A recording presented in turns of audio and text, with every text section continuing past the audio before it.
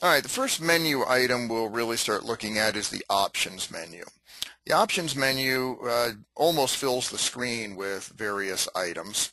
The first section, the top section of the menu, is what you would term system configuration options.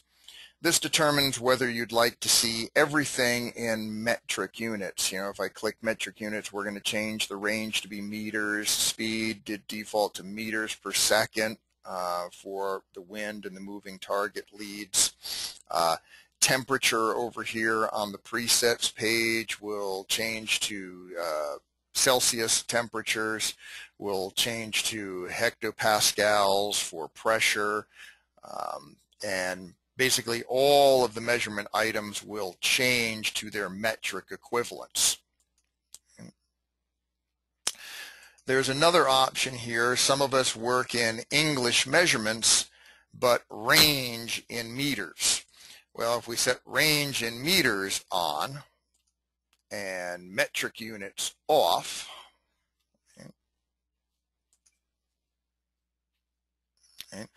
Will change to be reading miles per hour, for example, for speed, but we can change the range only to be meters.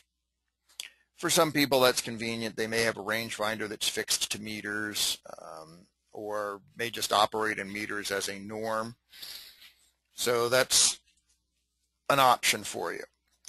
Then we have a choice in the telescope units of measure. Our angular units can be either minute of angle or in mil. Uh, if I switch to mil, it'll automatically convert the value that's in the box. Anything that's in any of the boxes, when you change a measurement, will be automatically converted to the other equivalent measurement. So instead of the 20 odd minutes up, we need 6.6 mil. The next item on the list is a configuration item to give you the net hold value. I, for one, generally speaking, do not dial a windage value on the telescope. I hold for wind and lead as required. Um, only occasionally will we dial wind on the scope. Um, so I use this pretty much all the time when I click net hold, it's basically going to set the windage box to give me the actual hold value. So we'll re-input that uh, 10 miles an hour from 270, which will give me 1.7, and you'll see the hold box will convert to the same number. And now let's put that 5 miles an hour in from 90 degrees. And the actual physical hold required is going to show here in the net uh, hold box, right? Rather than having to dial something on and then hold something, you get one single net value, right? And the button above it will be labeled net hold, which is, I think, kind of a convenience item. The next option is angle cosine the angle defaults to degrees. So your elevation angle to the target, up-down angle to the target, is by default an entry in degrees. If you have the angle cosine indicator on your gun that's set up for the cosine value, checking this uh, option will change that uh, angle box for the shot to be the cosine of the angle so instead of putting in uh, 90 degrees, you'll put in uh, 97 for the, uh, pardon me, the cosine 0.97, I guess would probably be better.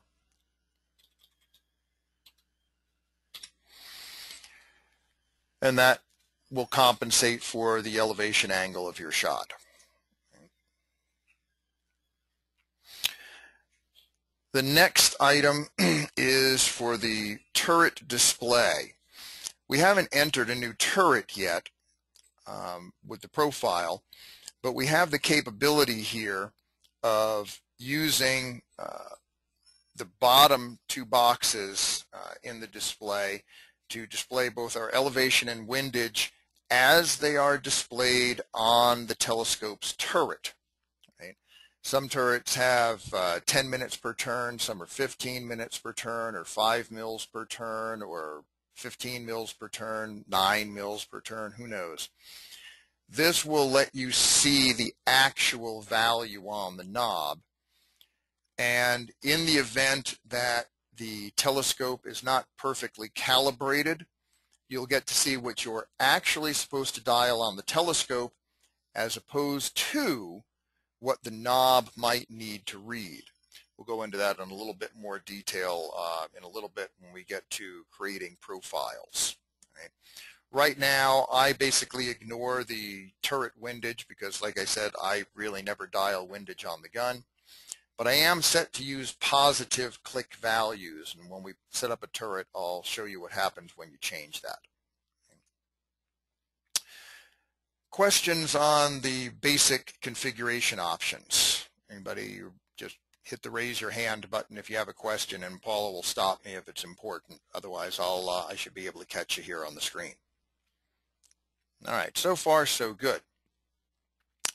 The next set of items on the option menu are what are referred to as solution refinements.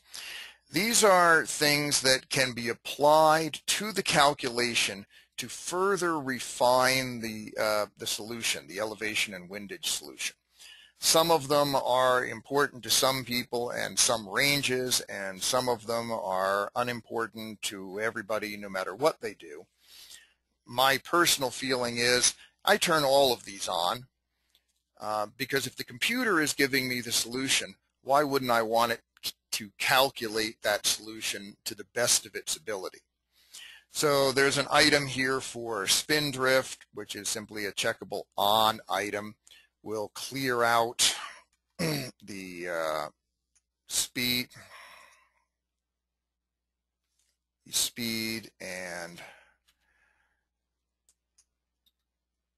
headings. So right now, purely wind drift at 732 meters, back to yards to be even numbers, is a whole 0.2 mil left.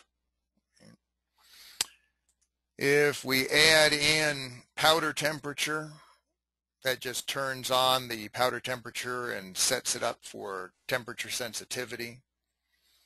We can turn on vertical deflection Vertical deflection deals with winds coming from either left to right or right to left because a bullet that is traveling through uh, the wind is always traveling a little nose up and therefore the wind from one direction to the other actually affects the elevation value as well as the wind hold value. Uh, if you go out far enough, um, you'll find that bullets, you know, typical right-hand twist. If the wind is blowing from right to left, you'll actually gain a little elevation. Uh, and if the wind, as opposed to the wind blowing from left to right, where you'll actually lose a little elevation. So that's another option to turn on. Then we have the Coriolis and uh, Eötvös uh, effect. This deals with the actual rotation of the Earth most of the time we aren't shooting at a distance where the correction is particularly relevant, but if you're shooting at 1500, 1800, 2000 meters, it does have an effect, um, most particularly a windage effect, depending upon where you are on the planet. In order to turn this on, the system must know your current position. If you try and turn it on without a position, you'll see that our current latitude is not set. Um, I do have the GPS on at the moment, so if I uh, just go to the map page and set our uh, current FFP, I'll set it as the house.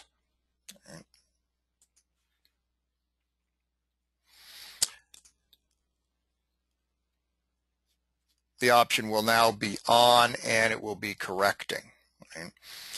Uh, the magnetic variation option deals with how you're giving bearings to the target from your location? Are you giving us a true bearing or are you giving us a magnetic bearing? So if I check that on, it'll just be a direct read off of your compass to the location of your target and we will in the program compensate for the current variation. And since Coriolis variation is on upper right hand corner has the CV button lit up. And if I press that button it'll show you what our current latitude is what the bearing is to the target and what our current local magnetic variation is. And it is turned on. So basically it's going to take the compass bearing and correct it for you rather than you having to correct it.